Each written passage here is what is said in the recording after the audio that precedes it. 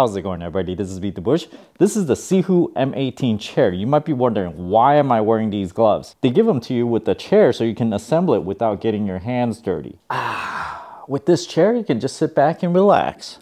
I have a friend who works really hard and she sits on a used Facebook Marketplace chair that's almost half broken. If you're working that hard, why not reward yourself with a new chair? This one in particular has a nice soft cushion seat, a mesh back that's very breathable. It's very important in the summer. And sometimes you just need something that's mid-range like this chair that is completely functional, no wheels falling off. I know the gas cylinder breaks a lot. And so sometimes the chair doesn't even come up anymore. Let me show you what it looks like from the box.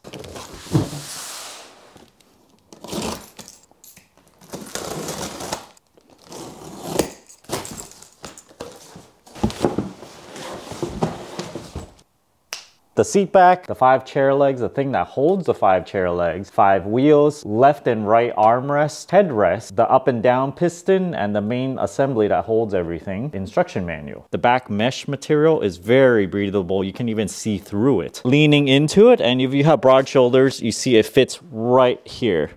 Sometimes if the chair backing is not broad enough, you might end up hitting the edges over here. The headrest can go down all the way or up all the way eventually comes out like that. I'll adjust it to the proper height for me. When you're done doing this, you can pull it forward as forward as this much or push it back like that much. Somewhere around the middle, around here is good. The backrest allows three angles of adjustment. You got the normal sitting position, pull the right handle out, lean forward a little bit, and then you can lean back, push the handle back in, and it'll lock into place. This is kind of like a relaxing angle. You can just sit here and it's reclined enough that you can relax. If you want to go even further back, just pull the lever out, push it back, lock it back into place. And it's kind of like I don't know. This is kind of like you can almost sleep in this angle if you lift your feet up. The armrests also have adjustability. You can go up and down by pushing the button. The lumbar support is not engaged at all. There's a little gap of space between the fabric and the lumbar support. But let me turn it this way and push it all the way in. Okay, it's engaged now and you can keep on pushing forward for about 1.9 inches pushed in that much. With the lumbar support completely retracted, I'm gonna push it out.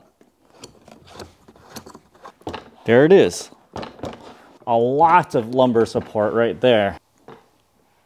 Almost a bit too much for me. If you push on the headrest and feel the fabric here, there's a thin layer of foam for padding and on the front it contours to your head. It features this W-shaped cushion. Now this is not quite memory foam because it does not keep a memory shape. It feels more like medium density foam to me. On the right edge of the seat there's a logo tag, says SIHOO. At the bottom of the chair there's a tensioning knob. You just twist it until the tension is to your liking. I turned it counterclockwise all the way and if I just kind of push back it's very easy. There's no tension at all. So let me twist it clockwise all the way and see how hard the tension is. This knob down here is for how hard you have to push this back. Okay, that's as hard as it goes. So you can do a thing where you unlock it and it's just kind of springy all the time. You lean back and it'll push you forward like that. Let's push the airlift Right there. When assembling, you have to put these bolts in yourself. I'm quite pleased with the wheels. They are fairly good rolling. Some really fancy chairs allow you to adjust these armrests, but for this particular one, it only goes up and down, so beware of that. A close-up of the seat material. This is a fabric.